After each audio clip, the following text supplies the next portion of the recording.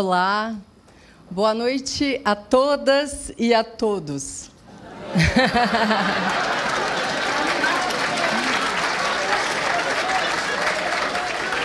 Eu sou a Branca Nunes, diretora de redação da Revista Oeste. Sejam muito bem-vindos ao evento de lançamento do curso O Brasil que dá certo, os bastidores do Plano Real, uma série documental escrita e narrada pelo nosso querido Guilherme Fiuza. Para começar, eu quero agradecer a todos que se inscreveram para participar do evento dessa noite. Muito obrigada por estarem conosco nesse dia tão especial. Em 27 de março de 2023, a Revista Oeste completou três anos de vida. Ao nascer, a redação e o setor administrativo reuniam pouco mais de 10 pessoas e ocupavam um escritório no 14º andar do Conjunto Nacional, um ícone da Avenida Paulista bem maior que o número de profissionais e as dependências da revista em trabalhos de parto, era a vontade de acrescentar um belo capítulo à história do jornalismo brasileiro. Pois o que parecia impossível se transformou em realidade. 169 edições depois, a Oeste exibe números suficientemente superlativos para sonhar com uma longa vida. Graças ao apoio de muitos de vocês, os nossos assinantes, hoje são mais de 50 os integrantes da empresa que ocupam três salas em dois andares do Conjunto Nacional. De 2020 para cá, o site somou quase 60 milhões de usuários únicos e 5 milhões de visitantes mensais. Nas redes sociais, são 1 milhão e 400 mil inscritos no YouTube, 1 milhão e 100 mil no Twitter, 900 mil no Instagram e 150 mil no Facebook. Conseguimos tudo isso sem um único centavo de dinheiro público seja de políticos, governos ou empresas estatais, porque a Oeste é financiada unicamente pelos seus assinantes. Essa história vitoriosa resistiu a ataques de hackers, constantes bloqueios impostos pelas big techs e dezenas de acusações infundadas. Aos olhos das agências de checagem, fatos incontestáveis viram fake news. A verdade, como se sabe, incomoda muita gente. A vitória só foi possível porque Jairo Leal, ex-presidente da editora Abril, conseguiu reunir no mesmo time o que há de melhor na imprensa brasileira. A ironia fina de Guilherme Fiuza, a sagacidade de Rodrigo Constantino, a lucidez de Ana Paula Henkel, a curiosidade de Dagomir Marquese, a argúcia de Silvio Navarro, a combatividade de Augusto Nunes e, sobretudo, o talento de J.R. Guzzo, dono do melhor texto do jornalismo brasileiro. Ao lado deles cresce a mais promissora equipe de repórteres e articulistas do país. Vale ressaltar que a Oeste tem como valores a defesa do liberalismo econômico, da democracia, do capitalismo moderno, da meritocracia e da liberdade. Liberdade de expressão, de posicionamento político, de religião, de empreender. Nestes três anos de vida, podemos dizer com justificado orgulho que jamais nos desviamos desses princípios. Para comemorar esse sucesso, a Oeste tem o orgulho de apresentar seu mais novo produto, a Oeste Cursos. E seu primeiro projeto é a série documental O Brasil que dá certo, os bastidores do Plano Real, escrito e narrado pelo Guilherme Fiuza. Na série documental, vamos mergulhar na origem do real, Conhecer seus personagens e os caminhos, por vezes tortuosos e surpreendentes, que fizeram dessa história uma epopeia que merece ser contada e resgatada, para que possamos mostrar que sim, é possível construir um Brasil que dá certo. É exatamente isso que o Guilherme Fiuza vai explicar em detalhes no evento que começa agora uma conversa entre três dos melhores nomes da imprensa. Então, senhoras e senhores, eu peço nesse momento uma salva de palmas para Guilherme Fiuza, Augusto Nunes e Gustavo Segre.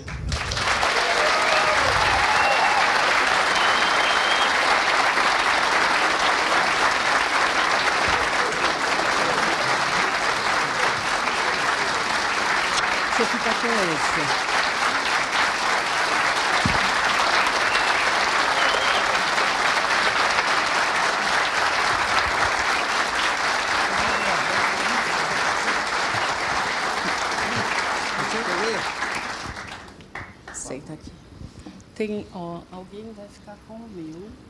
Aqui o Os bastidores do Plano Real. Nessa série, nós vamos mergulhar numa das transformações mais profundas e benéficas porque o país já passou e entender como e por que ela foi possível. A nossa história começa com uma operação secreta que tirou o Brasil do atraso. No início de 1994, um drible no FMI permitiu que o país se libertasse das receitas econômicas impostas de fora e realizasse o plano real sem interferências políticas. Foi uma espécie de emancipação nacional. E essa emancipação permitiu um verdadeiro transplante no comando da economia. O cenário era de um governo perdido, empossando seu quarto ministro da Fazenda, sob uma inflação galopante, ou seja, estava pronta a receita do desastre.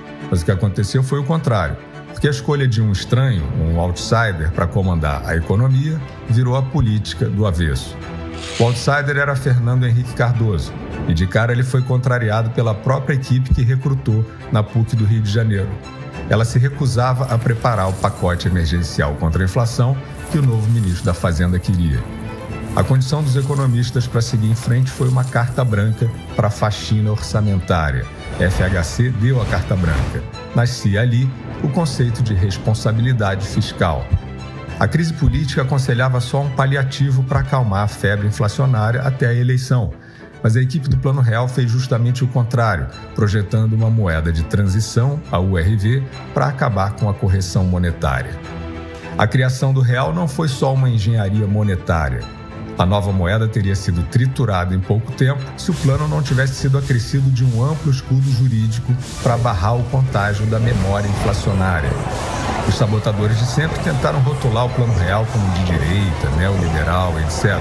Mas a reforma triturou os demagogos beneficiou a todos, especialmente os mais pobres.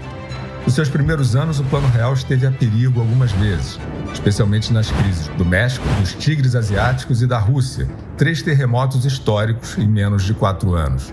O país permaneceu de pé e o repertório de medidas que garantiram essa façanha foi internacionalmente aclamado. No início de 1999, a turbulência financeira vinda da Rússia se somou ao descontrole de gastos para a reeleição de FHC e provocou a crise da maxi desvalorização do real. Parecia o fim, mas não era. Na eleição de 2002, o candidato de oposição era contra o Plano Real e o candidato do governo também era. Mas a disputa entre Lula e José Serra não abalou a moeda estável, porque reformas de verdade são maiores que a política. Duvida? Então vem fazer essa viagem comigo no final você vai poder dizer se foi ou não foi uma epopeia.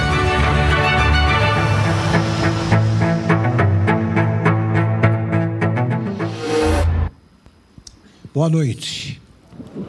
Muito obrigado a todos vocês. Sejam bem-vindos ao lançamento do curso do meu irmão Guilherme Fiuza, que eu tenho o prazer de abraçar aqui hoje, depois de algum tempo.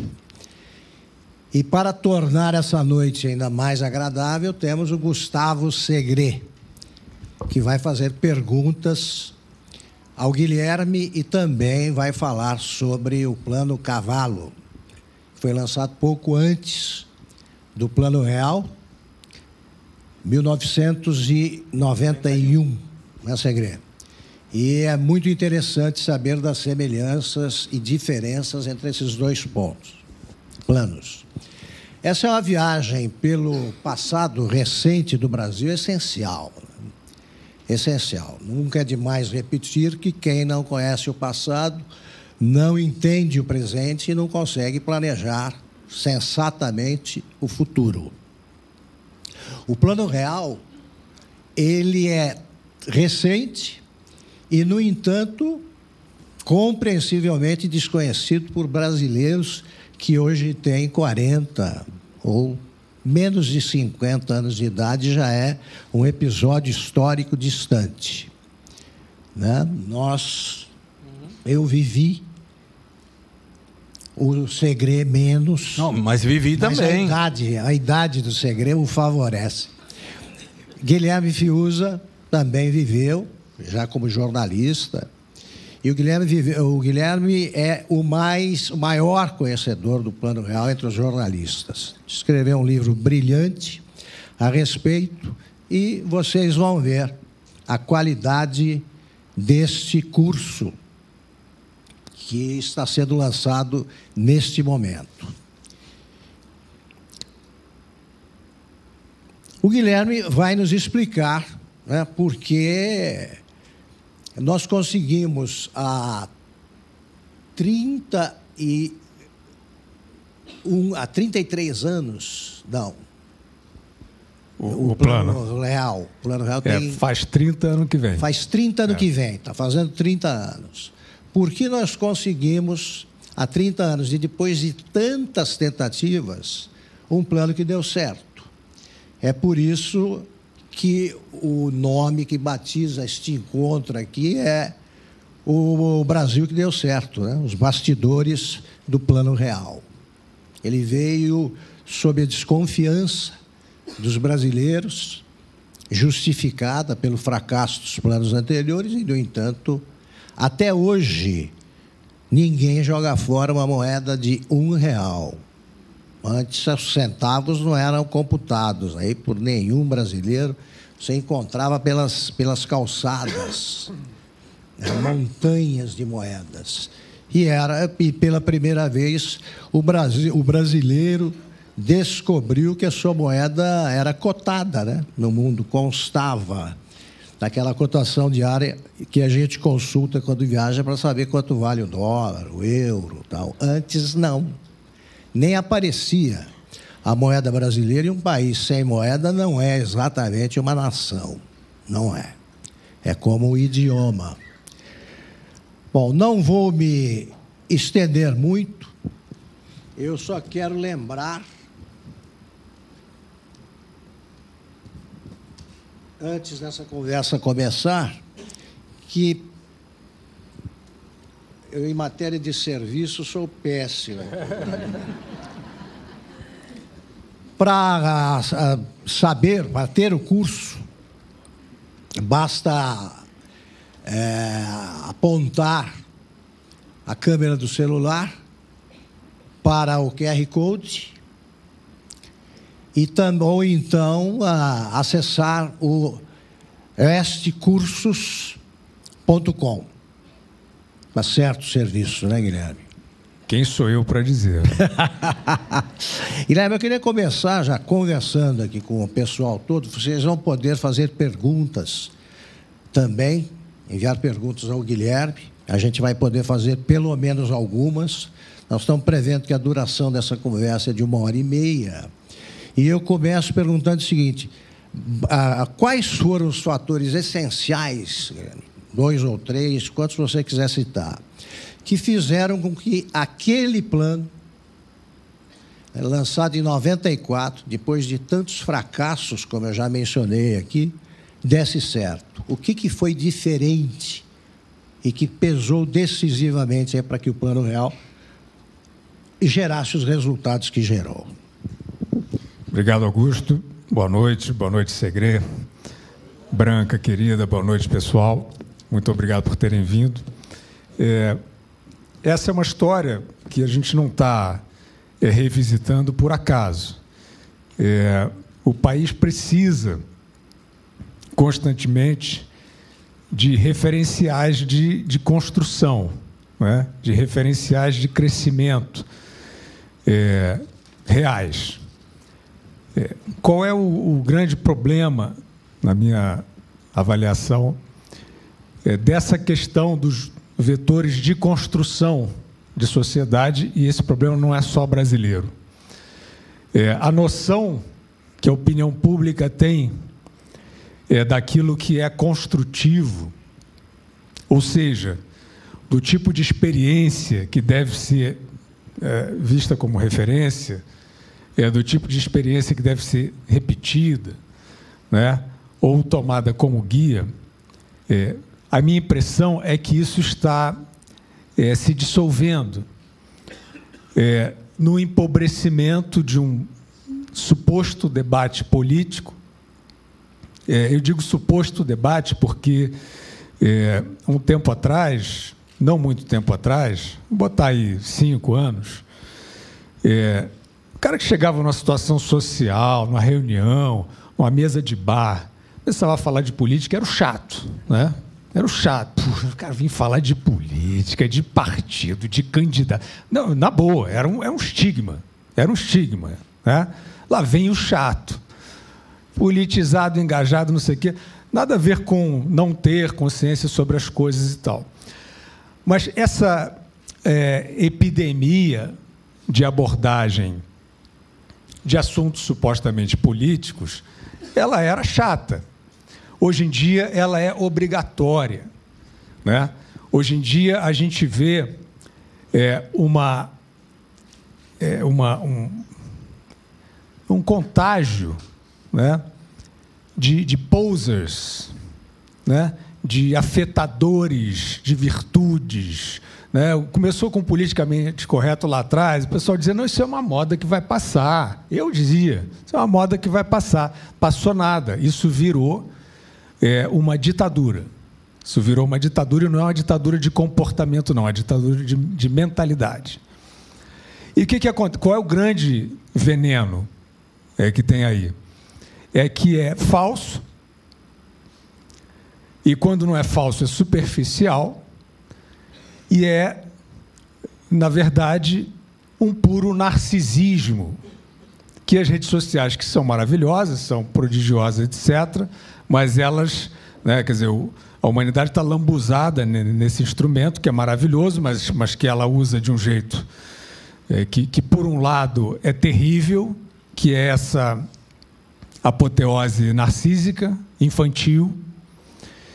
E nessa apoteose narcísica infantil, a afetação de uma preocupação política é nada. É, é uma migalha em termos de reais valores. Ah, eu sou a favor da felicidade, né? eu sou contra o racismo, eu sou contra a discriminação, essa bobajada que a gente tem visto aí. Isso é, isso é a minha visão, tá? Eu não sou professor, não tenho uma tese sobre isso. É a minha modesta visão. É, isso tem retirado a importância é, no momento das tomadas de decisão realmente civilizatórias.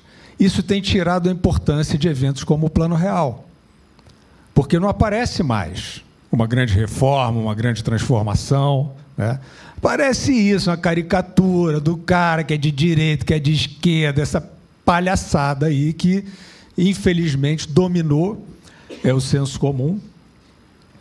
Infelizmente, é, as pessoas parece que viraram é, nostálgicas do Muro de Berlim, né? elas vivem num transe é, falando em polarização, não sei que polarização é essa, né? as pessoas vivendo nos grandes centros de uma maneira até muito parecida. O cosmopolitismo já trouxe isso há muito tempo. E caímos nesse, nesse negócio. Então, por que a Revista Oeste, o Jairo Leal, que é o publisher da, da Revista Oeste, quando eu apresentei é, essa possibilidade, ele não só é, é, acatou, como trouxe, que está presente aqui também, o, o Marcos Lins, que é o diretor né, da série, que é responsável pelas montagens e tal. Por que esse investimento? Né? E Augusto Nunes sempre na liderança de tudo. Porque nós é, acreditamos, né, e o projeto da Revista Oeste, sem nenhuma presunção, ele não vai abandonar. Eu sou, eu sou da escola Augusto Nunes, né? eu sou da escola Zé Roberto Guzzo.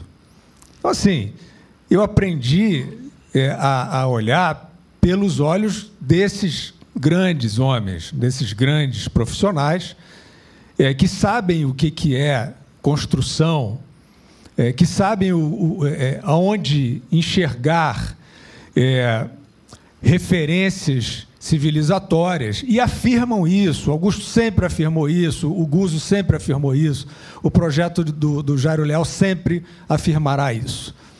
É, então, nós trazemos isso não como uma, um túnel do tempo, né, um negócio assim. A série é toda é, costurada com é, o, o Brasil de sempre, de, de ontem, hoje e sempre. Como é que faz para o Brasil dar certo? Como é que faz para um país dar certo? Então, nós estamos trazendo essa experiência, primeiro para mostrar que não é banal, depois para mostrar que não é um crachazinho partidário ou ideológico que garante nada, e nem mesmo é, a biografia ou o perfil ou as credenciais daqueles que estão associados a grandes transformações, porque esses também, eventualmente ou frequentemente, é, é, traem as suas próprias realizações.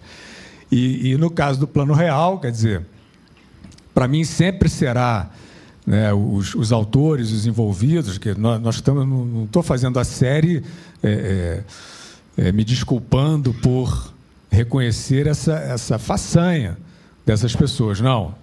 Toda a glória né, merecida aos que, aos que protagonizaram essa, essa reforma. Mas é, é preciso trazer, para entrar na, na, na resposta direta ao que Augusto perguntou, é preciso trazer essa perspectiva histórica. Então, na dinâmica histórica, é, boa parte dos responsáveis pelo êxito do Plano Real na eleição passada, sem nenhum juízo aqui sobre eleição, sobre um lado, outro lado, não, é sobre isso a conversa.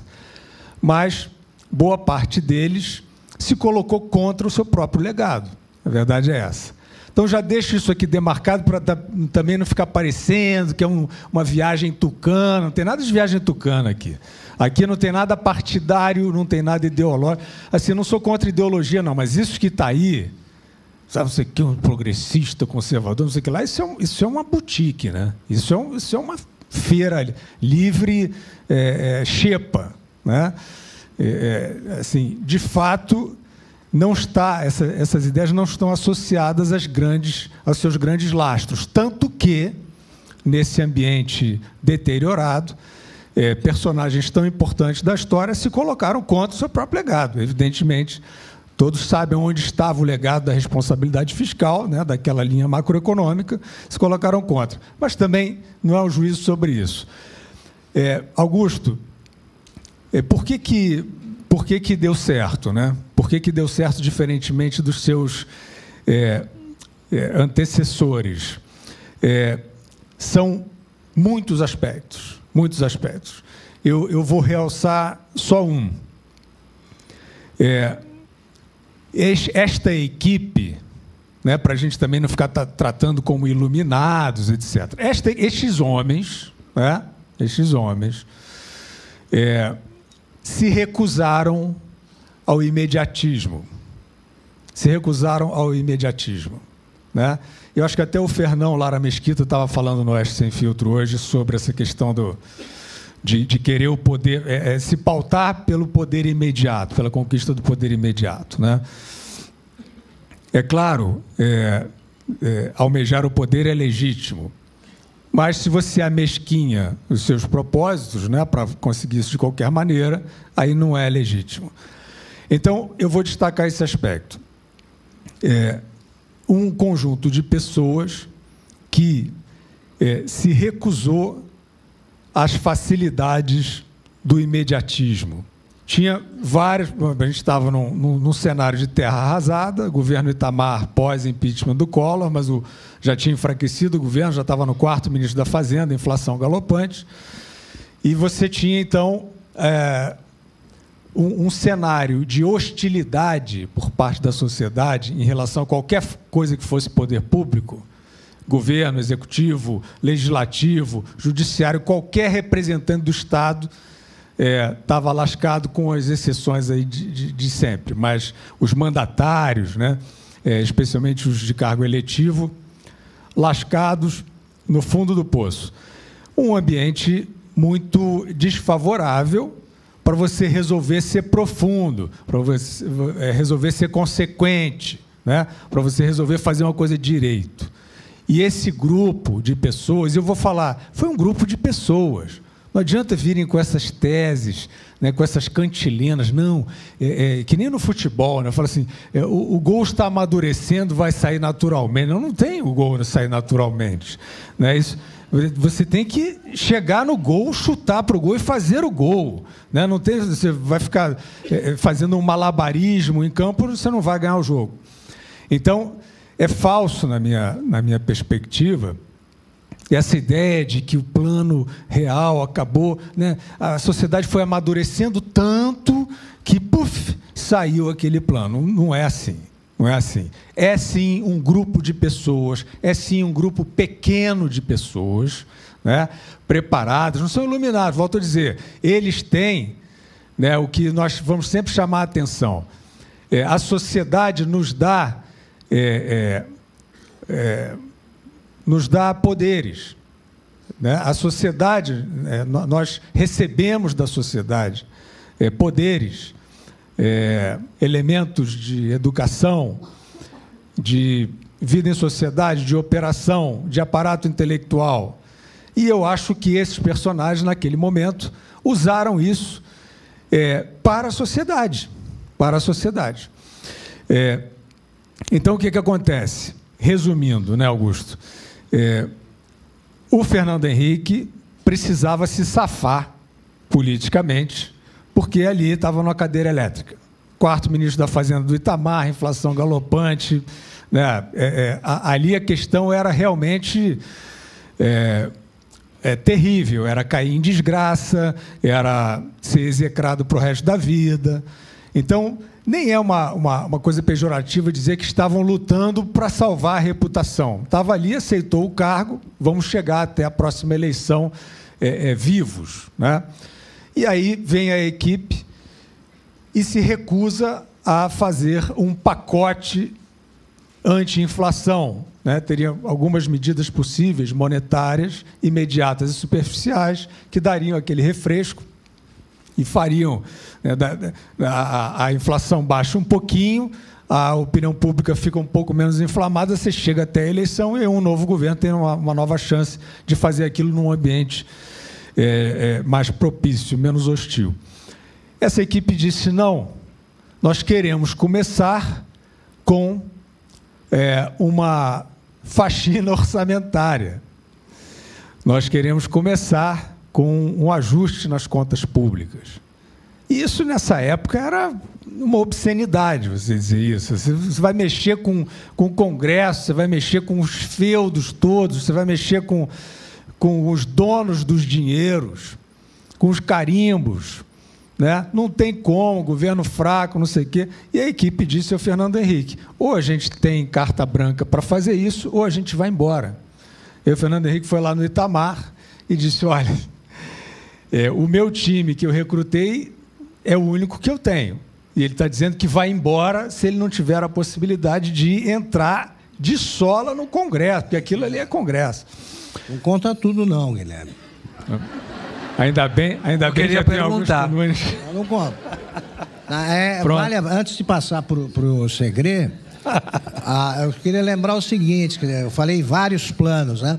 Eu me lembro, você está de memória, plano cruzado do Sarney, criaram os fiscais, né? Do Meu Sarney. Deus do céu. É, os fiscais de Sarney. Noite. Eu fui por uma noite, ajudei a fechar uma farmácia que estava remarcando o preço. Depois houve o desabastecimento total, não tinha. Eu tive rapidinho, que quem interessa aqui é o Guilherme. Eu tive uma conversa com o Sarney, falei, agora que nós estamos nessa fase de desabastecimento, estamos mal. Ele, não, tá, melhorou muito Como melhorou? Não tem carne, estão comprando só frango. Eu não aguentava mais comer frango. Aí eu falava, ele falou assim, sim, mas todo mundo comprou uma geladeira. Eu falei, mas está vazia, presidente. Ele falou, antes eles não comiam e não tinham geladeira. Agora eles pelo menos têm geladeira. Aí a conversa não podia terminar bem. Mas aí vieram plano Collor 1, plano Collor 2, plano seguinte, até que veio um feijão com arroz, né? Que era do Maílson, que já não tinha nome mais para plano. É isso aí. Até que o, o, o plano real encontrou um país com a inflação. A inflação, aliás, na, quando promulgaram a Constituição, brasileira é assim mesmo. Eles resolveram fixar o limite da inflação entre as medidas a regulamentar, por sorte, senão já ia nascer a Constituição morta, né? Estava lá no fundo. A, a inflação foi fixada, o, o, limite em 12%. Chegou a mil. Mil ao ano. No ano em que foi regulamentado. Aí foi esquecido esse negócio, depois tiraram. No plano real, o Brasil descobriu o sem conta. Existiam milhões de brasileiros sem conta. Eram os pobres que recebiam o salário geral no dia 5 e eles tinham que comprar rapidamente os produtos aí possíveis, porque para não perder 30% do, do salário para a inflação. E as, os supermercados começaram a instalar lojas na periferia, que é para a turma comprar mesmo, aí facilitaram. Então, chega, estávamos nessa situação quando o plano real, entre outras consequências, permitiu que essa turma tivesse conta, esses brasileiros tivessem conta no banco. Olha a situação em que nós vivíamos. Né?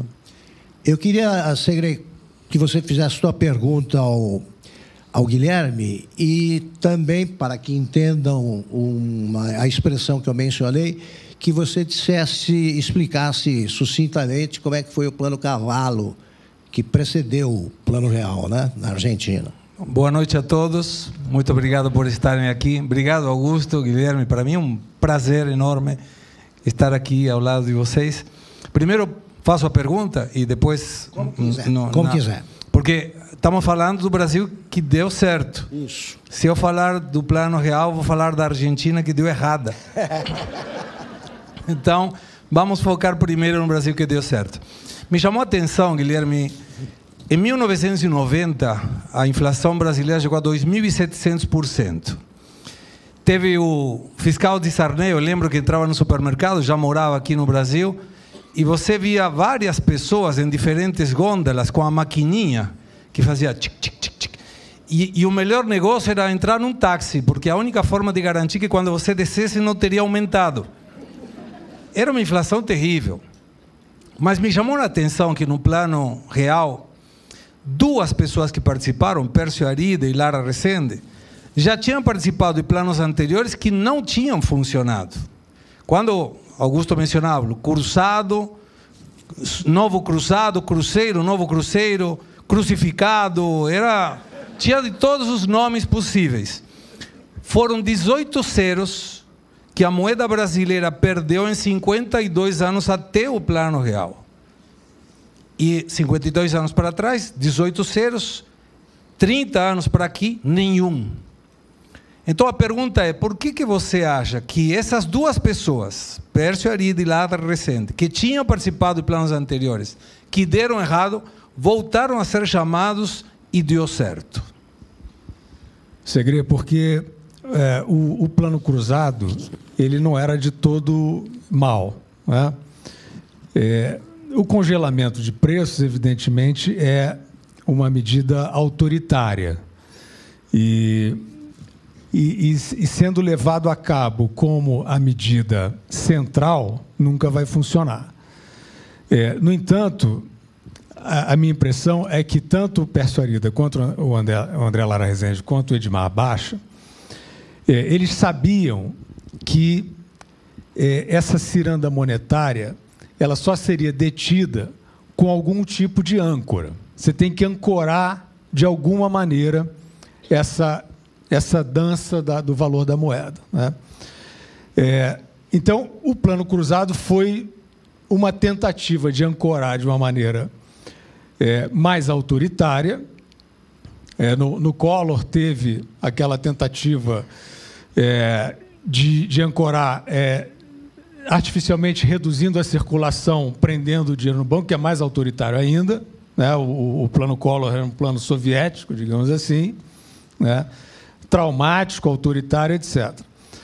Então, é, eu acho que eles, como acadêmicos, é, né, uma coisa é a prancheta, outra coisa é você botar aquilo para funcionar com a sociedade inteira é, é, ali sendo a, a experiência. Né?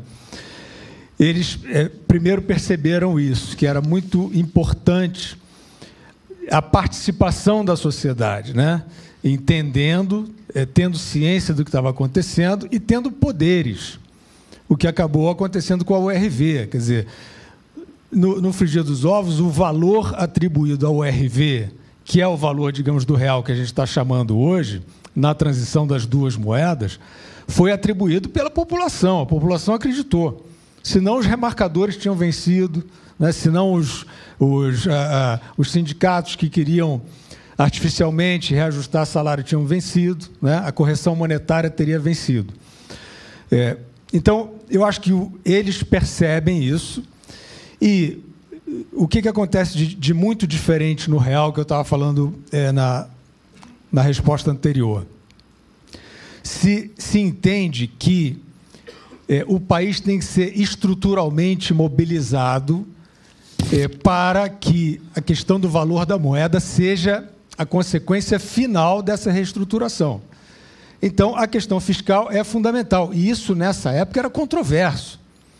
Tinha gente que, que é, duvidava que a questão é, é, da. da enfim, não, não, se falava responsabilidade fiscal, né, a questão do equilíbrio fiscal, que isso fosse de fato influenciar no valor do dinheiro, ou então é, o desenvolvimentista dizia não, não tem problema desvalorizar porque a gente exporta mais. Vários mitos desse tipo que empobreciam é, a população como um todo e enriqueciam alguns espertos que, que ganhavam com isso, com especulação, etc.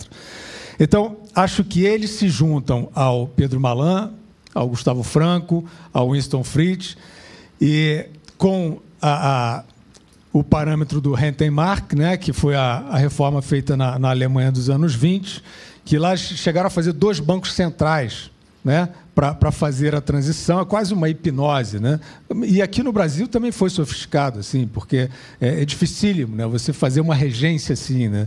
Olha, esse dinheiro aqui vale, vale é, é, o valor aviltado, e esse aqui é o valor real que nós não, não vamos, todos juntos não vamos deixar aviltar né, com certas medidas jurídicas para equilibrar. É, então, acho que é, é, é, uma, é uma, diferença é, é, abissal né, da, da, dos princípios do cruzado para do, do real, quer dizer, muito mais democrático, digamos assim, muito mais transparente. E eu acho, para concluir, é, e aí não, não é tanto do, do André Lara, do, do Pércio, e do Baixa. Quer dizer, o Baixa foi muito importante nessa parte da, da responsabilidade fiscal. Ele foi para o Congresso e ele trabalhou essa legislação que é, que é basilar. Mas a implantação é, do, da, da reforma, a, desde a transição até o início da moeda, isso é que eu chamo de uma guerra sangrenta. Porque ali essa, essa âncora que um dia foi congelamento, ou um dia foi sequestro de poupança, não sei o quê, ela tinha que aparecer em algum lugar. Então, tinha a, a chamada âncora cambial, com boa parte desse, desse meio acadêmico que é afetado e destrutivo e narcisista, né? e, e ficaram combatendo, e até hoje, eu, eu acho que a gente tem um, um pouco esse, esse, é, é, essa função de resgatar a história, porque até hoje tem gente que diz que o Plano Real era uma, uma, uma coisa é, de juros cavalares, que não foi, enfim, que não foi o plano real que estabilizou, na verdade. Né? A moeda se chama real, mas, mas aquela equipe era uma equipe de trapalhões, da privataria, né? que, é, porque teve um, um, um, grampo no BNDES que, que, né, que vazou uma, uma é, de fato, uma conversa lá sobre indução do processo de privatização da telefonia, e aí tentaram estigmatizar toda a ideia de, de privatizar, de desestatizar, de acabar com o ralo dos bancos estaduais como uma coisa neoliberal, não sei o que. Não. Isso é profunda ignorância, mas que, infelizmente, campeia em parte do meio acadêmico desde aquela época até hoje.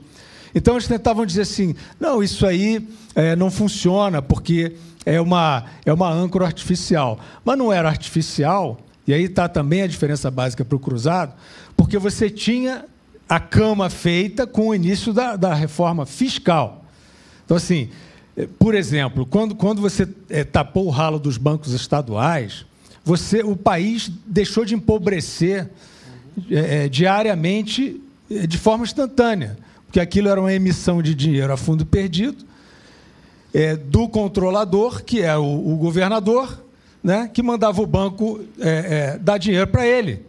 Ilegal, absolutamente ilegal. E para gastar com política. Né? Isso aí era o empobrecimento da sociedade. A equipe do Real mostrou isso. E depois eu posso falar, porque, como disse o Augusto, para não falar tudo de uma vez, é, essas âncoras, e eu falo disso no próximo comentário, essas âncoras elas foram colocadas é, no Banco Central principalmente, até as últimas consequências. E aí a gente passa para a próxima, Augusto, depois Antes eu explico que você essa questão é, é. Aponte a câmera do seu celular para o QR Code que está na tela ou acesse o estecursos.com. É isso aí. Muito bem. E inscreva-se. Eu lembro também o seguinte: tem uma frase do, do Orestes Quercia, que governou São Paulo e elegeu o sucessor, é, o Fleury, o governador Fleury, ele dizia, com todas as letras, eu quebrei o Banco de Estado, mas eu elegi meu sucessor. Que ele, e o Banco do Estado estava quebrado quando foi ah, vendido. O Banestado, né? O ba Banestado, Banestado. privatizado. Banestado. E a privatização, quando fala privataria, isso é uma bobagem, porque pensa o seguinte: imagine se continuasse na mão do governo a Telesp e a Telerge.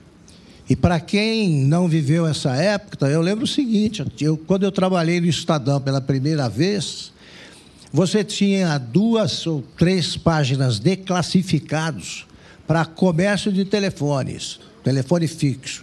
Esperava-se dois anos para se conseguir uma linha telefônica fixa no centro de São Paulo. Era um ativo no balanço e ficava no espólio. Era um ativo é, no balanço. Era, é, você deixava o, o, teu, o teu telefone, a tua linha telefônica na, como herança. Você tinha que incluir isso aí. Segre, com você. Queria te perguntar assim, na minha opinião, eh, o plano real tive dois momentos. O primeiro da estabilização e bem no meio vem o problema da, do México, em 95. Quebrou, né? O problema da Rússia, em 98. Pouca gente lembra que o próprio Itamar foi o que começou a debacle do câmbio quando decreta a moratória, sendo governador de Minas Gerais. Esses países foram à falência. É. Foram à falência. E aí começa a ter uma pressão muito grande, aumenta a taxa de juros Selic, se tivesse o Lula, teria reclamado também, né? 40% em 98 até o 13 de janeiro, começa 6, 13 de janeiro, libera o câmbio. E aí aparece o segundo plano real, que é onde Fernando Henrique ancora a economia no superávit fiscal, na liberdade cambial e na meta por inflação. Por que isso aconteceu? Exatamente, seria excelente é, o seu painel. É, isso é controverso, mas a, minha impressão é a seguinte: para você fazer um corte é, estrutural, cultural, é, do valor atribuído pela sociedade à sua moeda, ao seu dinheiro, é, você precisa de um choque. E como não era um choque autoritário brutal, né, como o congelamento de preço, sequestro de poupança, você tinha que ter é, um mecanismo é, de é, intimidação, pode-se dizer assim, da especulação. Né? É, porque a gente fala hoje, quer dizer, hoje não, né, a moeda não, não fica mais ao sabor de ondas é, do cenário internacional, como, como acho que você citou.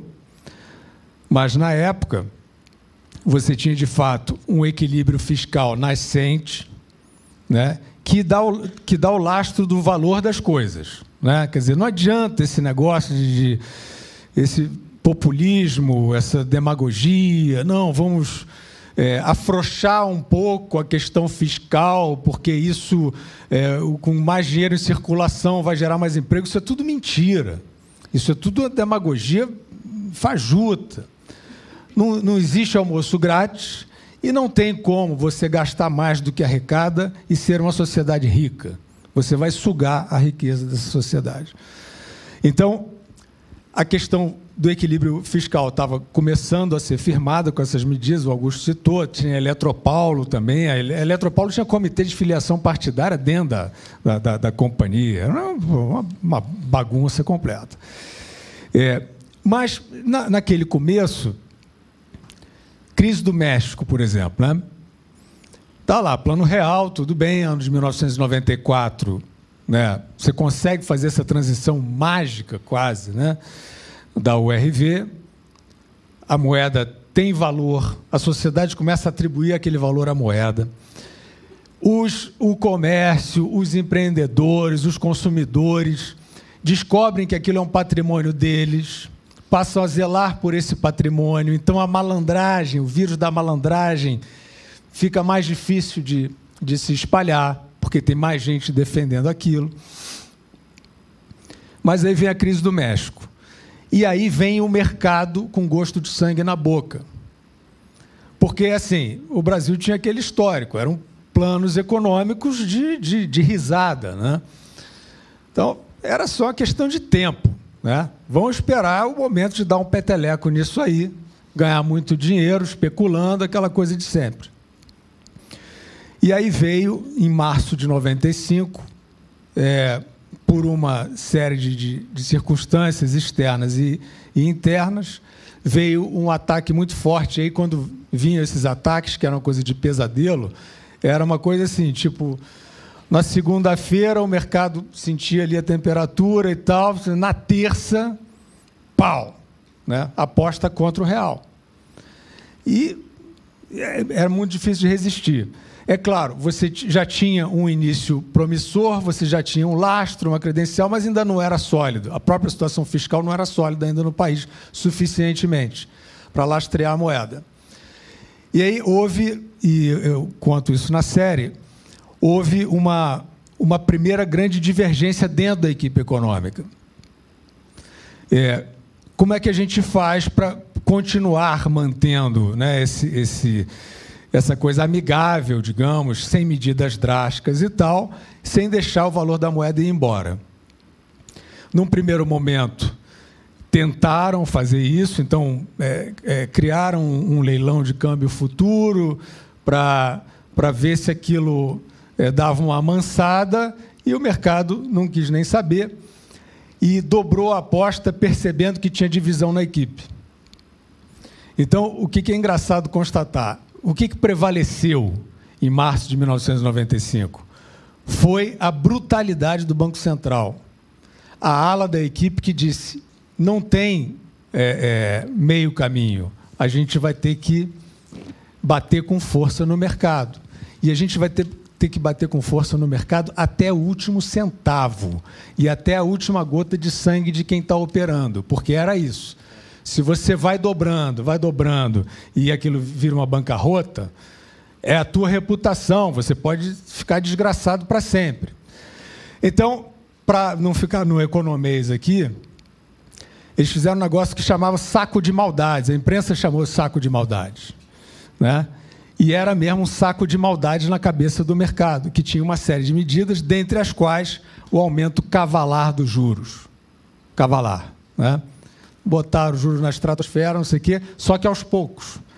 Então, o que aconteceu naquele março de 95? O mercado apostando que em algum momento ia dar um peteleco e, e derrubar é, o, o, Real e derrubar aquela equipe, né? E o, o, Fernando Henrique eleito, não sei o quê, pô, não vai durar nada isso aí. É, então, eles foram, isso foi, aconteceu num dia, eles foram escalonando as medidas ao longo do, do, do pregão. E o mercado terminou na lona. E é, o, quem apostou perdeu feio, saiu muito machucado. E ficou dada o seguinte, a seguinte mensagem, né, que até alguns anos depois o Fernando Henrique é, perguntaram, não, mas qual é o lastro da, da política monetária, não sei o quê. Aí o, Fernando Henrique, meio impaciente, falou assim: o lastro da política monetária é que o mercado tem medo do Gustavo Franco. É, era mais ou menos isso. E o saco de maldades tinha o Malan e o Gustavo como aqueles que acreditavam que, que nessa hora era, é, é era a briga era feia. É, a partir desse momento, que aconteceu? E, e aí, só para concluir com uma, uma observação importante. Quem é que está. O, o, como é que a gente chama esses que estavam com o saco de maldades né, para cima do mercado, defendendo o valor da moeda e conseguiram defender com uma âncora monetária dos do juros estratosféricos, que depois foi equilibrado, como você citou muito bem, com o tripé macroeconômico. Era o Estado. Era o Estado. Porque tem uns, né, uns é, é, aventureiros né, do liberalismo, Estado, né? aí houve uma frase aqui, outra, não, Estado, não, não precisa de Estado. Não, ali foi, era o Estado.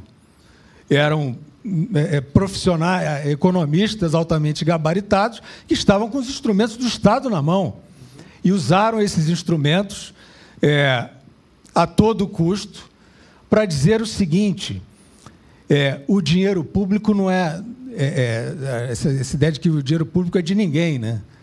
O dinheiro público tem dono. Então, o Banco Central, nesse momento, nessa, nesse pós-crise do México, 95, depois teve em 97 outro saco de maldade.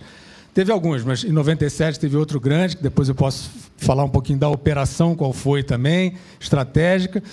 É, mas ali era é, depois de um plano econômico bem sucedido no seu início uma transição com duas moedas dificílima, bem sucedida também, de um início de reequilíbrio fiscal, eh, enfrentando tudo quanto é coronel, tudo quanto é interesse, poderosos, ameaças, isso não é brincadeira. As privatizações, teve bomba na rua. Hoje em dia o pessoal fala, não, privataria. Pô, teve bomba, teve violência, é, não, não foi nada fácil. Mas naquele momento, é, você dizia, é, a moeda tem dono a moeda tem dono. Era a autoridade pública, o Banco Central, dizendo: não, isto não é mais a terra de ninguém. Isso aqui é uma autoridade que vai é, garantir com todos os meios, através. Porque assim, não, não existe o Estado. Né? O Estado é uma convenção, existem as pessoas que estão representadas ali, operando, fazendo o Estado funcionar, que é uma coisa que também acabou. Né? Os caras vão lá, faz uma pesquisa, não, acho que é por aqui, acho que é por ali, não sei o quê, teoriza um pouco, mas não, tem a, tem a pessoa, como a gente viu na Operação Lava Jato, Receita Federal, Polícia Federal, tem que ter aquele, aquele servidor que vai botar a sua carinha né, na, na janela e vai dizer: não, eu sou, eu estou investido dessa autoridade e eu vou defender o bem público. Então, acho que foi isso que aconteceu, e a partir daí, realmente, o mercado. Quer dizer, o Brasil foi bola da vez algumas vezes, mas sentiu que tinha autoridade pública por trás da moeda. Não, era, é, e eram pessoas que conheciam algumas velhas verdades. Né? O, por exemplo, que a, não existe dinheiro público, existe o dinheiro dos pagadores de impostos né, que não são contribuintes, não são pagadores de impostos. Contribuinte é quem contribui voluntariamente, não é o caso. E o Malan, eles conheciam o Brasil, né? O Malan, por uma frase, ele já merecia ficar todo aquele tempo no ministério. Né? No Brasil, até o passado é imprevisível. O cara que fala isso aí é um bom ministro. O Segre, por que a Argentina não fez um plano igual ao real naquela época? É, é, há diferenças muito grandes entre as economias do, oh. dos dois países. Vou, vou desvendar um mistério. O plano real foi uma cópia melhorada do plano de conversibilidade de 1991. Plano Cavalo. Plano Cavalo. Tinha estado no Ministério das Relações Exteriores, muito parecido com Fernando Henrique Cardoso, uma pessoa que não tinha nada a ver, foi colocado primeiro como chanceler, depois trazem ele para o Ministério da Economia. Não entendia de economia. E, e, não, ele não, não, ele era, ele era, ele era bom. Economia era bom. Não era bom na, na chancelaria, mas fez um trabalho bom. Era uma pessoa competente. Um sociólogo na economia deu certo. O cavalo quando começa essa questão deu certo. E foi muito parecido. Aqui tinha eh, a unidade de reserva de valor, a URB.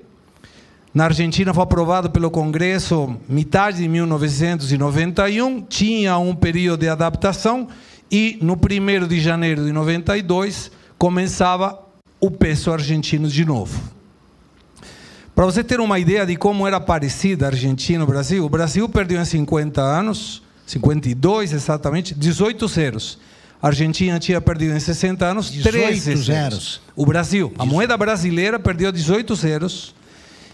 E a Argentina estava com a Austral, que tinha feito também, mesmo caso que Sarney, o, o Alfonsin, Plano Primavera, Verão, eram nomes mais de estações. Não tínhamos cruzado, cruzeiro e tal. Poético. Mas é, era mais poético, era o plano primavera, no outono caía tudo. E aí, em 1 de janeiro de 92, 10 mil austrais viram um peso. Tiraram quatro ceros de uma vez. Mas qual foi o erro? Porque se você pega, a, as colocações são bastante parecidas. Na Argentina, naquela época, a âncora era reservas do Banco Central. 4,5 bilhões de dólares em reservas, 4,4 bilhões de base monetária. Então, tiravam tudo que estava circulando e tinha a âncora. Se todo mundo que tivesse dinheiro queria comprar dólares, tinha dólares para ser vendido. Então, não tinha problema até aí. Na teoria, fechava bem. O problema na Argentina sempre é a prática, não na teoria. E o histórico era ruim. E junto com o Brasil tem muito parecido. Desde a conformação do FMI em 1956, a Argentina pediu 23 empréstimos. O Brasil pediu 14. Dívida pública, a Argentina deu oito calotes. Foi um dos países que mais calotes deu no mundo de dívida. E o Brasil deu quatro calotes. Não era tão diferente. Mas o problema estava no déficit fiscal. Esse foi o problema da Argentina. E aí que não deu certo. Porque, para você ter uma ideia, desde 1960 até 2003, todos esses anos foram déficit fiscal. Ou seja, na casa de vocês, na nossa casa, na nossa empresa, a gente gasta mais do que arrecada. E o país não tem como segurar isso. Só teve superávit fiscal em 2003, 4, 5, 6, 7 e 8. Seis anos. Desde 1960. E nesse período de 40 anos, o déficit fiscal da Argentina foi de 140%. Ou seja, perdão, 180%. 40% praticamente cada 10 anos. Quer dizer que alguém tinha que financiar. E quando você começa a ter um estouro do déficit fiscal, ou você emite moeda, não podia, pelo plano de conversibilidade do dólar, você aumenta a dívida pública ou aumenta a carga tributária. E governos populistas diminuir gasto público nunca, jamais na vida. Né? Então, o governo da Argentina na época, o Menem, foi o peronista mais liberal do mundo, porque aplicou a mesma lógica. Privatizações, igual.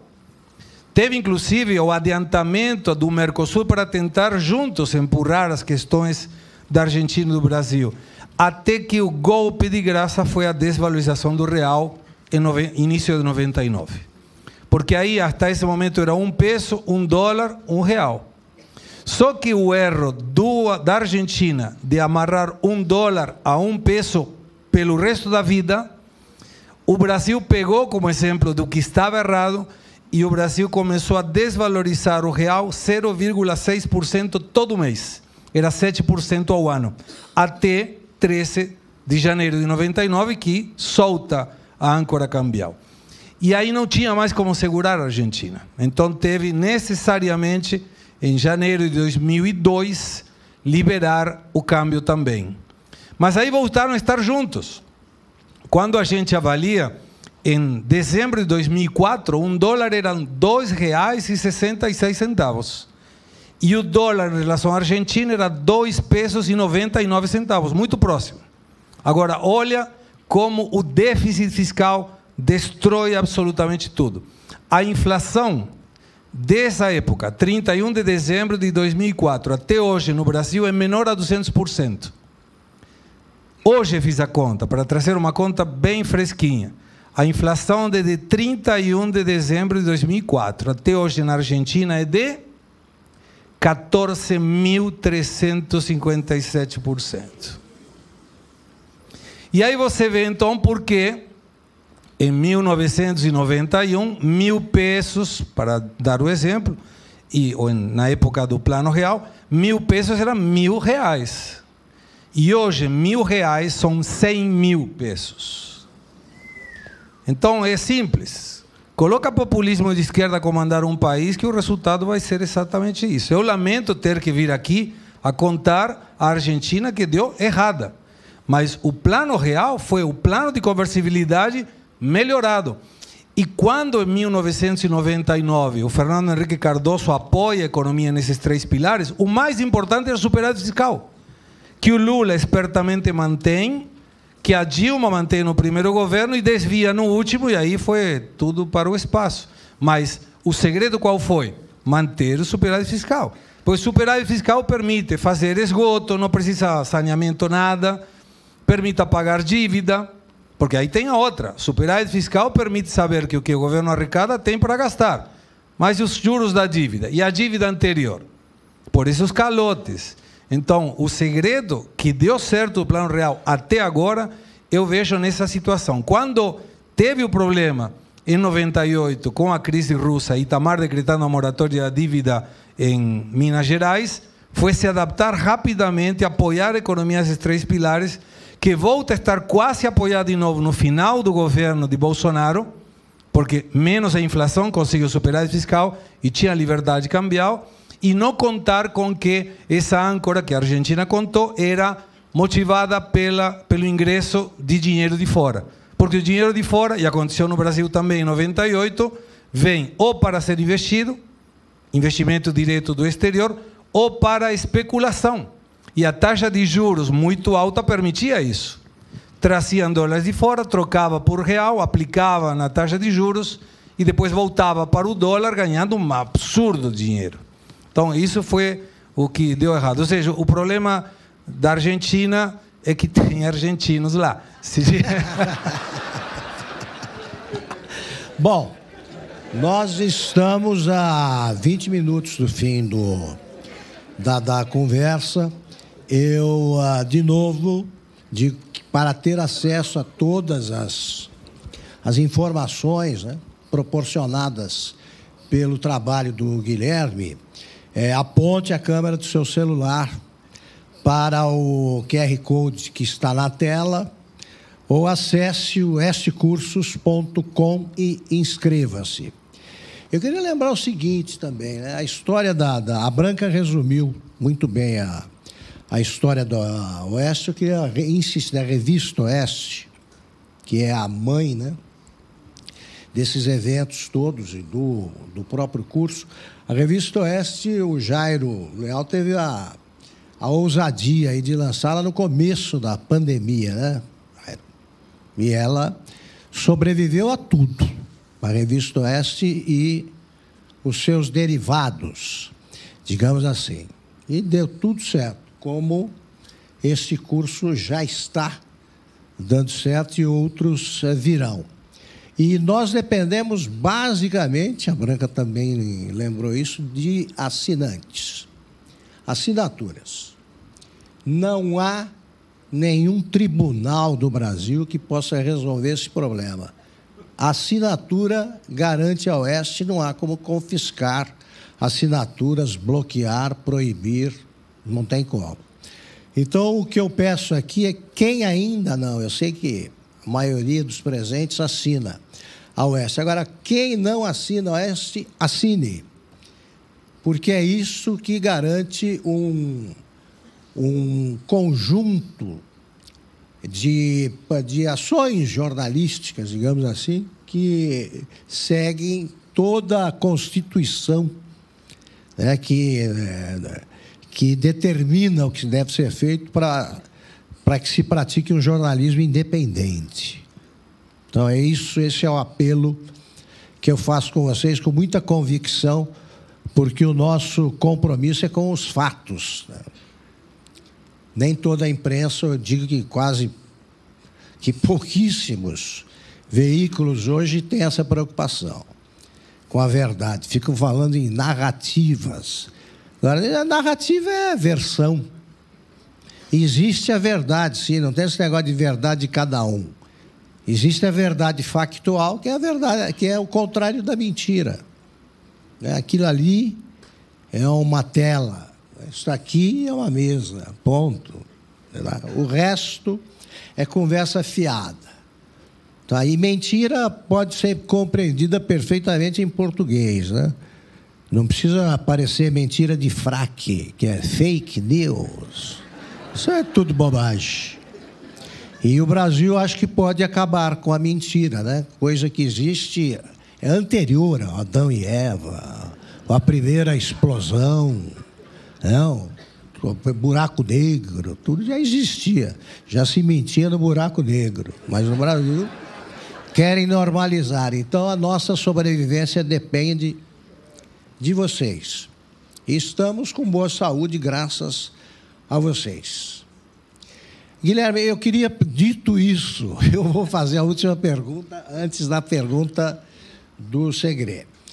O, você mostra nesse trabalho como é que um país pode dar certo, né? depois de tantos equívocos, erros, é, enganos, é, deliberados ou não. Hoje o Brasil ele, ele aprendeu a essência do plano real, ele aprendeu por que, que deu certo. Eu, fico, eu faço essa pergunta também porque eu, tô, eu fico preocupado quando eu ouço e também baseado no que me diz o Segre sempre, eu fico preocupado quando alguém propõe uma moeda que só vale para o Brasil e para a Argentina, né? só para a América do Sul, né? porque o dólar, que negócio é esse do dólar determinar tudo quanto é negócio e tal. Aí depois o MST faz uma, uma quermesse baseada no preço do dólar. É, porque ele sabe o que é bom. O, bem agora, o Foro de São Paulo. Foro de São Paulo é todo ele 50 paga, doletas ali, tem que... Quem não paga dólar, tenta pagar com uma moeda que só vale aqui ou na Argentina, que você vai ver o que acontece. Guilherme, aprendemos ou não? Augusto, eu acho que é, esses princípios, eles estão de pé, eu não vou dizer por inércia, que, que vai parecer pessimismo demais, ah, mas eu não acho que a sociedade, a opinião pública hoje é, entenda, perceba exatamente por que, é, que isso sobrevive. É, determinação da taxa de juros, por exemplo, né? É, Banco Central, é, Comitê de Política Monetária. Né? Isso é um negócio, é um instrumento muito singelo, né? muito sutil. Você tinha antigamente uma politicagem determinando taxa de juros e você trouxe para uma decisão na esfera técnica. E você institucionalizou isso. Mas como a gente vê frequentemente os ataques, né, ao Banco Central, não sei o que lá, é, isso deveria ser um pecado mortal. Né? Você atacar a independência do Banco Central eu acho que se a sociedade tivesse de fato bastante consciente de, de quais, quais, são as estruturas que, que é, determinam essa estabilidade, qualquer político que falasse isso cairia em desgraça imediatamente. É, então, é, a, a, minha preocupação é justamente essa. Quer dizer, nós tivemos, é, no, no, no, período recente da política brasileira, é, alguns progressos importantes nessa questão da responsabilidade fiscal. É, o início do governo Lula, primeiro, foi um governo de austeridade, depois descambou para tudo que a gente sabe. É, no período Dilma Rousseff, é, não, não houve esse compromisso, já estava é, questão de taxa de juros, etc. Isso, e orçamento já estava bastante descontrolado, mas no período Temer, de novo, houve é, uma. E aí, é, qual é o problema que, que você vê? Ah, não, já vai falar do Temer, vai defender o Temer, vai defender o MDB, depois é o Bolsonaro, vai defender o Bolsonaro. Essa, essa é a doença do, do Brasil hoje, eu acho, e do mundo. Né? Quer dizer, é, nessa série a gente tenta. O, que, que é o Brasil que dá certo? Né? É o enunciado da nossa série.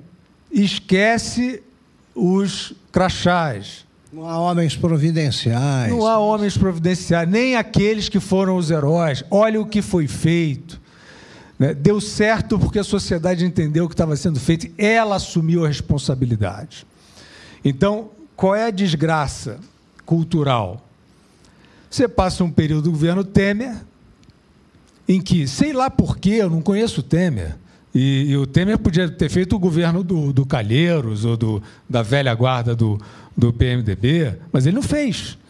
Ele botou o William Goldfein no Banco Central, foi considerado o melhor presidente do Banco Central do mundo em 2018. Não é porque eu quero, porque eu gosto, é porque isso é o fato.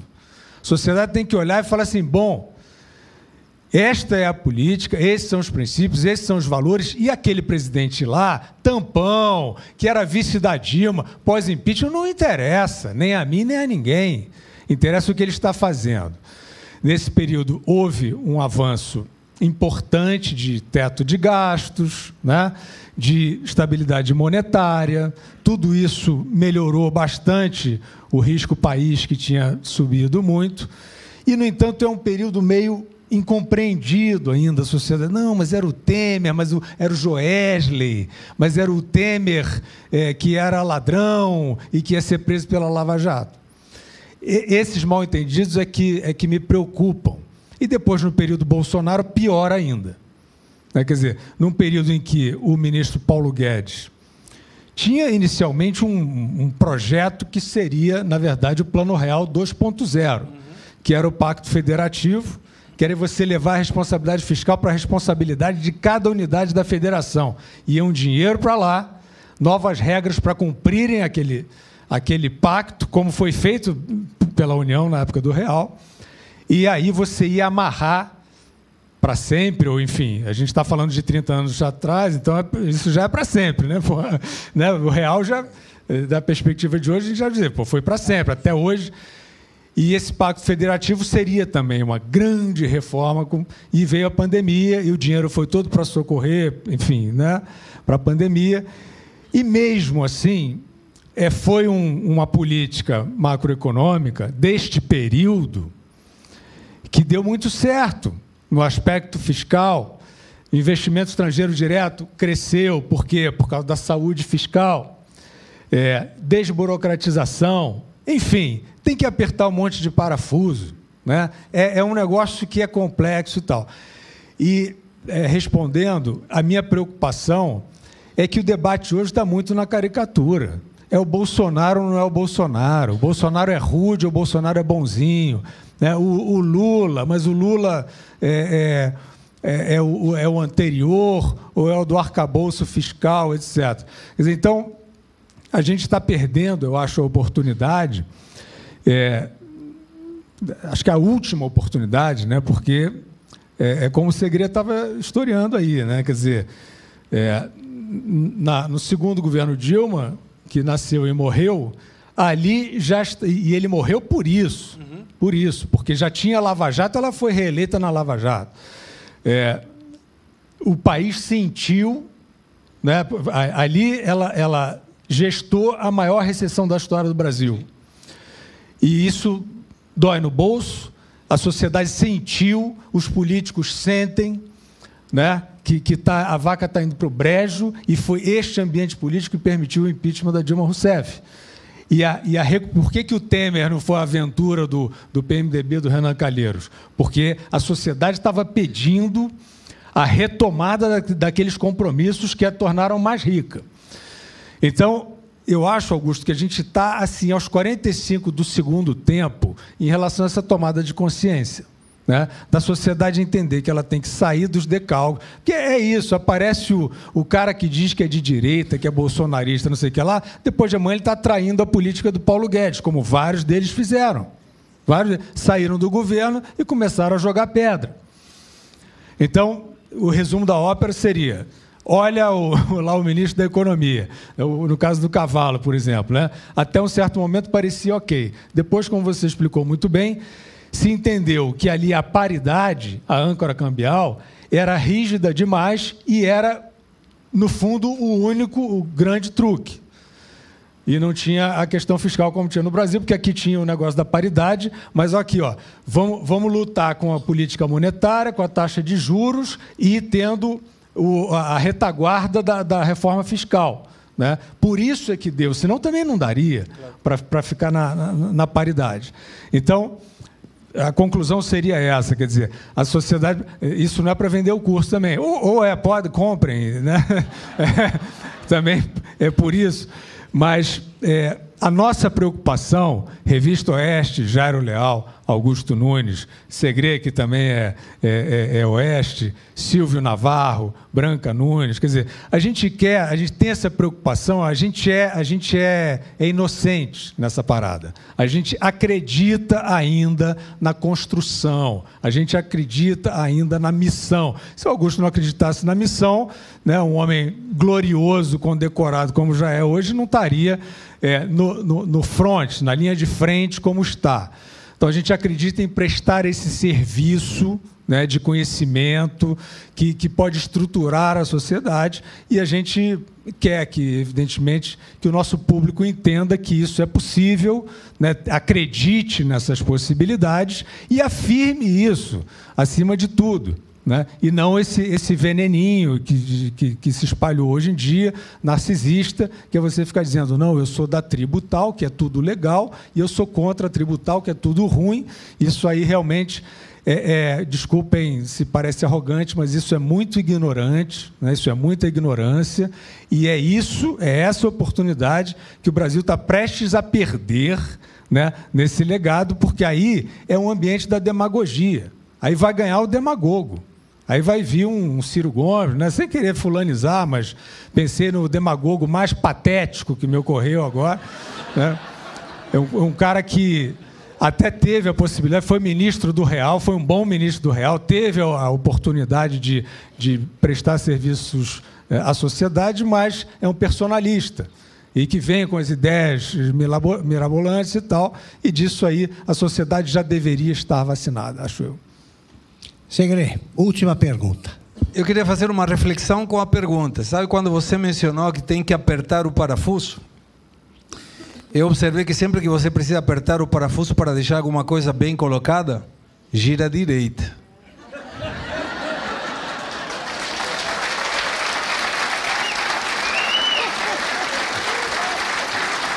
Quando quer tirá-lo, gira à esquerda. Mas me preocupa uma questão para ver esse risco. Nós vimos depois de 1999, e eu defendo muito esse tripé, porque o próprio Temer, incluindo naquelas coisas que você falou, colocou a reforma trabalhista, tirou poderes do sindicato. Isso foi muito bom. Ou seja, foi um, um presidente que pode ter sido esquecido na história, mas na base econômica permitiu de alguma maneira voltar com Henrique Meirelles, fantástico, eh, e com. Eh, o presidente do Banco Central, que hoje está trabalhando no Banco Mundial, no FMI, no, FMI. E a preocupação é o descuido do governo do Lula em relação ao déficit fiscal. O, a esquerda populista não só inventa essas questões de narrativa, sino que tem o mérito de roubar as narrativas dos outros. Porque o mérito hoje de ter uma inflação baixa é da política monetária do Banco Autônomo Central, não é do governo Lula. E mesmo assim, ele tem hoje uma liberdade cambial, com muita sorte, porque a situação internacional está permitindo que o dólar esteja nos patamares que está. a possibilidade de ter essa questão de meta por inflação muito perto de ser atingida, que deveria chegar ao patamar de 4,75 ao ano, mas e o déficit fiscal? E aí pode acontecer, de novo, imitando a Argentina, que na Argentina o governo populista mudou o significado do PBI, que é Produto Bruto Interno. Na Argentina buscam pobres, brutos e inflacionados. Esse é o PBI argentino. Esse descuido do déficit fiscal do Brasil, hoje, gasta, gasta, gasta, gasta, e depois a gente vê, não coloca o Brasil num perigo no meio prazo para a economia e para a sociedade, gerando pobreza e gerando problemas econômicos? É, sem dúvida. A gente, a gente viu um processo de sucessão presidencial é, intrigante, né? intrigante, enigmático, é, em, que, em que ascende um projeto, como você disse, que é claro que o populismo demagógico sempre será gastador, porque ele não tem espírito público, ele é uma malandragem né? de, de tomada de poder. Então, evidentemente que é, isso não pode ter futuro, né? você precisa ter. E é o seguinte: mesmo de boa fé, você precisa ter quem saiba fazer. E aí, acho que a sociedade brasileira já entendeu, né? já aprendeu a identificar nas pessoas né, que estão nos cargos. Acabamos de falar da equipe do Plano Real e tal. Não tem como você olhar a conjuntura atual e acreditar que são pessoas capacitadas, mesmo se quisessem. Né? É, e aí eu vou é, responder a sua provocação é, de forma grave, talvez descontentando a plateia que aplaudiu, para dizer o seguinte: sabe qual é o salvo-conduto do demagogo, do populista, daquele sem espírito público nenhum? É isso que você falou aí, da direita, do parafuso que gira para a direita, porque essa noção de que a direita salva essa noção de que esse lugar é o lugar da virtude versus um outro que é o, que é o nefasto, é exatamente o jogo inverso que é feito pela retórica de lá. Então, assim, onde é que esses caras todos estão pendurados hoje? Os que perseguem, os que calam, os que gastam o dinheiro, os que pintam e bordam em cima do, dos direitos da população, está de perseguir a direita. Perseguir a direita. E, em parte por isso, é, atualmente eu mudei a minha tive que mudar a minha forma de trabalho, porque isso é uma caricatura. E eu estou aqui, por isso que nós fizemos esse projeto. Falei assim: não, eu quero falar do que dá certo. Já que virou uma caricatura, já que eu tento explicar aqui, mas uma parte até de boa fé acha que isso é a direita, a direita pode ser qualquer porcaria. O governo Bolsonaro teve dissidentes de direita que ficaram atirando no Paulo Guedes certo? O governo de Israel, o governo da Austrália, o governo do Reino Unido foram autoritários terríveis durante a pandemia, todos conservadores de direita. Então, assim, eu respeito quem é, é, goste da doutrina, queira estudar, etc. E tal. O que eu quero dizer, eu não estou falando isso para ser estraga prazeres. Eu estou falando isso porque eu acho que isso é uma questão crucial. Eu acho que isso é o veneno. Acho que isso é o truque. Senão não estaria sendo enfático assim. É, o que você tem hoje é justamente o seguinte: é, sai da fantasia, companheiro.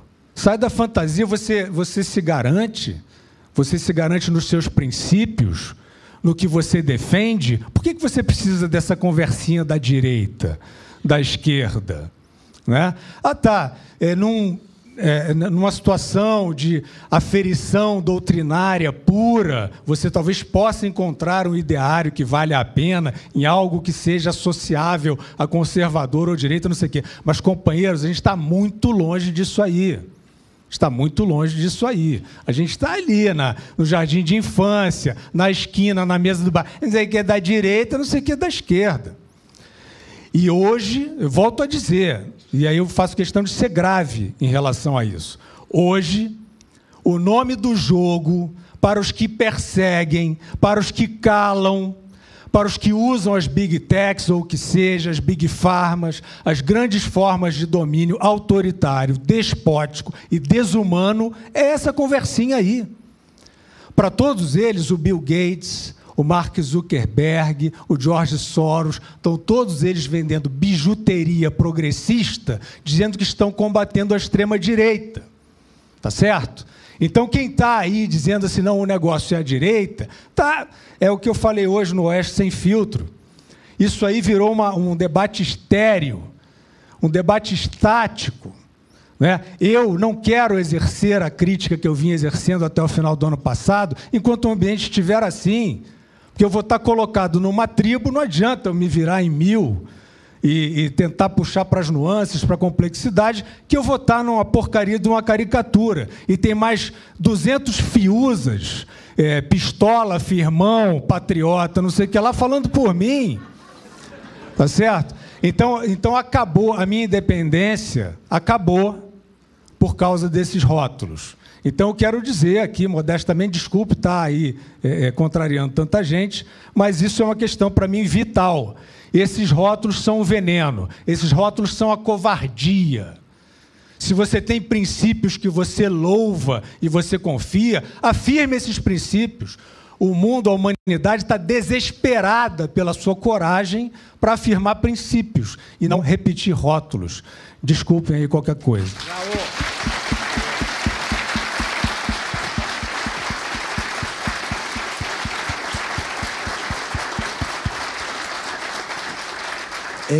Eu acho também, Guilherme, que eles subestimam, né? os políticos, de modo geral, subestimam a inteligência do povo brasileiro. Aqui eu me refiro também aos brasileiros humildes. E me reporto para sustentar o que eu estou dizendo ao plano real. O brasileiro, em tese, né, não, não se interessa por assuntos econômicos, imagine. Né? Não se interessa por planos, não sabe, não compreende o que se passa. O Real mostrou o contrário. Esse curso é, vai mostrar aí um momento em que um presidente da República, que não era, não trabalhava naquele momento com questões econômicas, Fernando Henrique estava no, no, posto que ele, com, com o qual ele sempre sonhou ministro das Relações Exteriores. É um homem do mundo, um poliglota, sofisticado. Tá? E estava lá, né, passeando e servindo aí ao governo. Quando ele aceitou o, o, o cargo de ministro da Fazenda, ele fez a primeira coisa certa que político brasileiro também subestima Esco governar é escolher, governar é nomear as pessoas certas. Senão, o presidente da República tem que entender de tudo. Né? Um bom ministro da Saúde foi o Zé Serra, não é médico. Basta escolher, fazer as escolhas certas. No, quando o Plano Cruzado foi lançado, o Plano Real foi lançado, o Lula liderava as pesquisas de opinião. Né? O Fernando Henrique, naquele momento, no, no, pouco antes, quando ele assumiu o Ministério da Fazenda, ele já estava conformado com a ideia de se candidatar, se fosse candidato a alguma coisa, a deputado federal, porque ele sabia que não seria reeleito senador. Tinha consciência disso e dizia, eleição majoritária não volta a disputar. Pois ele se tornou candidato por vontade do povo, a presidente da República depois que o povo viu que o, o Brasil estava dando certo com o real. Há um debate, na televisão, há um vídeo mostrando a chegada ou saída do Lula e do Fernando Henrique num debate eleitoral, e os dois são entrevistados um ao lado do outro, tal, e o Fernando Henrique fala do plano real e o Lula reage com alguma palavra parecida com isso é uma farsa, uma fraude, uma coisa desse tipo. O Fernando Henrique percebeu que seria inevitavelmente eleito, todos perceberam, quando o, o povo brasileiro começou a manifestar o apoio a ele nos comícios, acenando com cédulas do real. Então o povo sabe sim o que, que significa confisco da poupança, já sofreu, isso aí sabe qual é a medida certa, e os políticos insistem em ignorar Não a, a, o que o povo merece, mas o que rende voto até. Mas eu acho que o povo é sempre melhor que os seus representantes. Aqui no Brasil tem sido. Eles representam o povo. Quem elege o Congresso somos nós. Mas o povo brasileiro é, age, de, sobretudo depois começou a se interessar mais por política, age de forma bem mais lúcida. E o, o Senado que foi eleito não é tão ruim, pelo menos depois dessa última eleição não é tão ruim, etc, etc. É por isso que eu acho que tudo está no conhecimento, na informação, é isso que liquida essas questões. Por isso, vocês têm mais um motivo para ver o Brasil que dá certo. Os bastidores do Plano Real do nosso Guilherme Fius. Muito obrigado, boa noite a vocês. Obrigado a todos, um abraço.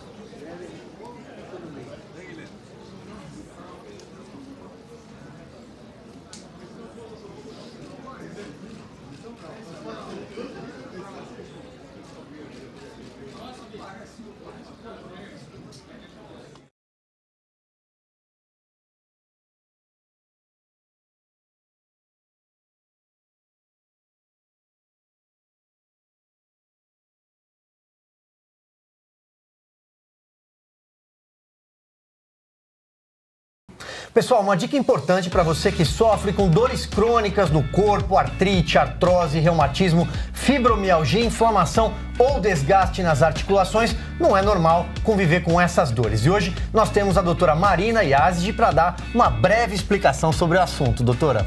Silvio, obrigada pelo convite, um prazer estar aqui. E de fato não é normal sentir dor, muito menos conviver com elas. Então, se você sente dor, é porque tem algo de errado e isso precisa ser tratado. Essa é uma queixa muito comum que eu recebo no meu consultório e é algo que eu sempre explico para os meus pacientes. Se você tem dor, é porque tem algo que você precisa melhorar. E a gente é um reflexo daquilo que a gente come. Um exemplo: os nossos músculos, eles precisam de proteína para eles serem saudáveis. Os músculos saudáveis, eles acabam sobrecarregando menos as articulações e por isso eu passo a ter menos dor. Então, antes de pensar em medicamento, a gente precisa mudar estilo de vida e precisa melhorar a alimentação. Mas eu sei que nem sempre é fácil mudar a alimentação e aí nessas horas, nessas situações, eu acabo indicando o suplemento Ora Pronobis, que é um super alimento porque ele tem alta quantidade de proteína e isso ajuda na saúde dos músculos.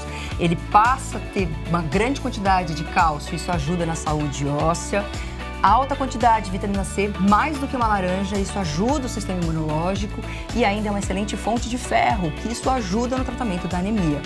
E além disso, a gente tem alguns compostos na hora pronobis que ajudam no processo de, inflamação isso atenua as dores crônicas. Então, além disso, a gente ainda tem melhora alguns estudos mostram melhora na pressão arterial, no colesterol e também no controle do açúcar do sangue. Muito obrigado, doutora. Bom, agora a Renata tem uma promoção. Isso aí, você que está nos acompanhando hoje, 70% de desconto garantidos. E além disso, um colágeno tipo 2 que vai atuar diretamente nas suas articulações, ajudando também com as dores. Aproveita. É isso, pessoal. 0800 291 1010.